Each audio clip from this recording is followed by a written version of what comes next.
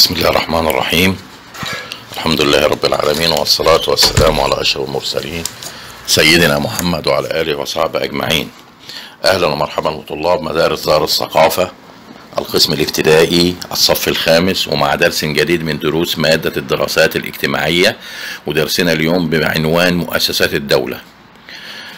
نفكر ونستنتج. يعتمد مفهوم الدولة قديما على تحقيق الأمن والاستقرار الداخلي وحماية الحدود. ومع التطور الذي نشهده ظهر مفهوم مؤسسات الدولة فما أبرز هذه المؤسسات في وطني. المملكة العربية السعودية هناك نوعان رئيسيان للمؤسسات هما مؤسسات عامة ومؤسسات خاصة. المؤسسات العامة هي المؤسسات الحكومية اللي هي مؤسسات التابعة للدولة. المؤسسات الخاصة وهي مؤسسات تابعة للشركات والمؤسسات التجارية.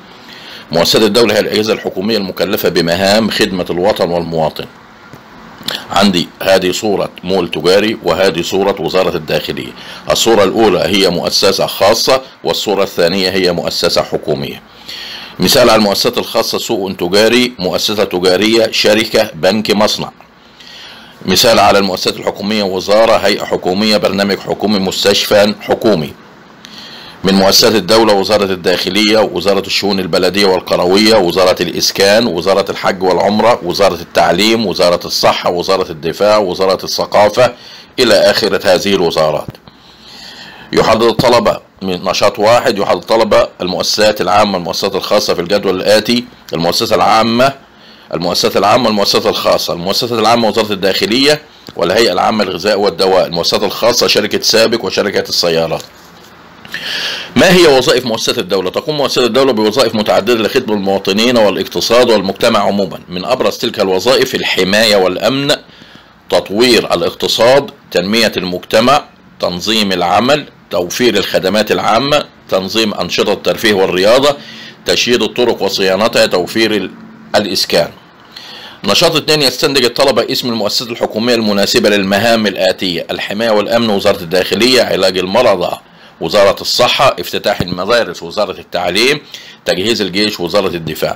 هل يمكن أن تستمر المدرسة دون نظام؟ لا لأن النظام أساس سير العملية التعليمية.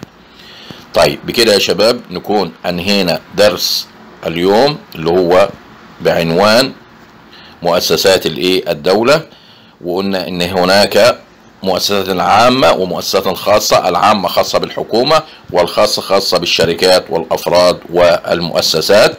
وأخذنا أمثلة على مؤسسات الدولة التعليم وزارة التعليم والصحة والدفاع والعدل والاقتصاد والعمل والبيئة وغيرها.